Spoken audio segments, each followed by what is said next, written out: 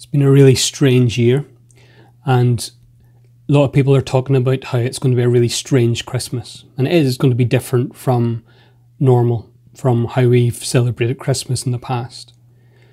But have you ever thought that actually the heart of this whole Christmas story is an incredibly strange story? A baby in a manger, the Son of God in our world the eternal Almighty taking human form. That's a truly strange story. One of the things I would like to try and do this week as I lead you in worship is to narrow down into the true and proper focus of Christmas, to bring the story of Jesus coming right to centre stage. I've probably spent more time at home this year than I have any year since I was a child. And that made me think about celebrating Christmas this year personally and as a leader in the church. I've been reflecting on Jesus. The whole point of Christmas is that he left his home, he left heaven, his family, his father to come to earth. And I've thought if he could do that for me, maybe I should do that for him. I've come here. This is where I'm going to spend the night, surrounded by sheep.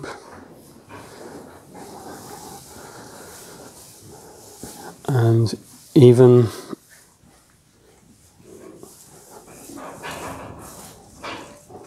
very own Christmas donkey. Camp bed, animals for company, and an opportunity just to reflect on what it's like to spend a night in a stable. You might think Christmas is strange this year, but Christmas is just incredibly strange. The, the strangest idea to comprehend is that the Almighty would come down into such a place as this we read these really familiar verses from uh, Micah chapter 5. But you, Bethlehem Ephrathah, though you are small among the clans of Judah, out of you will come for me one who will be ruler over Israel, whose origins are from of old, from ancient times. Therefore, Israel will be abandoned until the time when she who is in labour gives birth, and the rest of his brothers return to join the Israelites. He will stand and shepherd the flock in the strength of the Lord, in the majesty of the name of the Lord his God, and they will live securely. For then his greatness will reach to the ends of the earth, and he will be their peace. Micah the prophet says that the Saviour will come out of Bethlehem, a small, insignificant uh, village that nobody hardly knew anything about.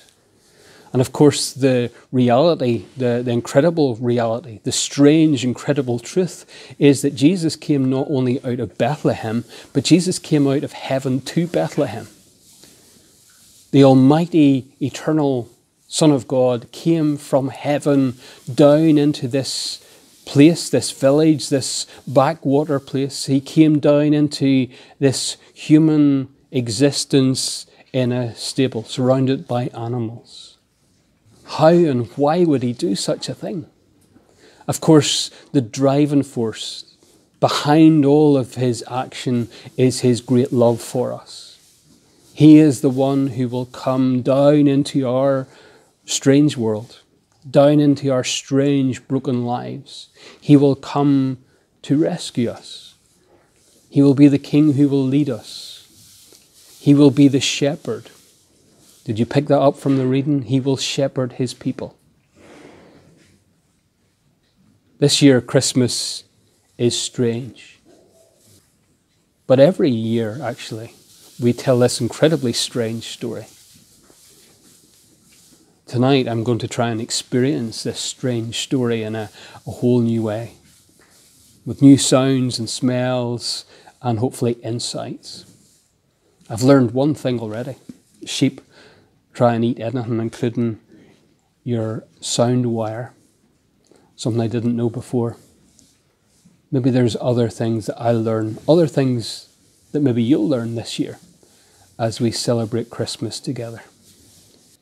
Is it strange to even think that the Almighty God could love you enough to come to a place like this just so that He could save you, rescue you, redeem you? Is it strange to comprehend that such a God has done so much for us? It's a strange, wonderful idea. So let's take just a minute or two to reflect on this strange story that we focus on this week. This strange and wonderful idea that the Almighty became one of us to rescue us and save us. As you reflect, may He draw close and may He capture your heart with His love. Oh, little town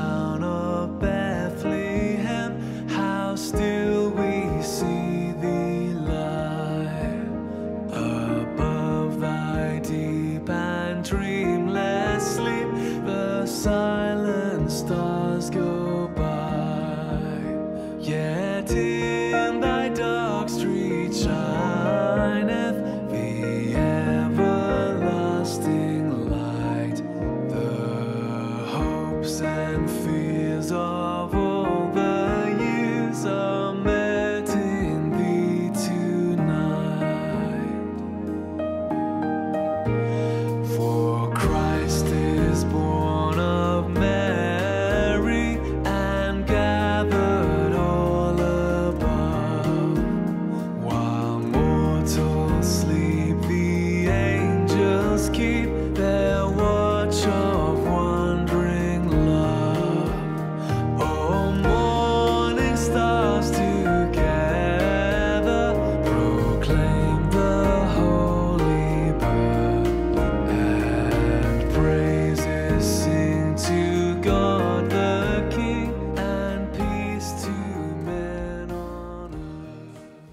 In these strange days, in these strange times, would God bless you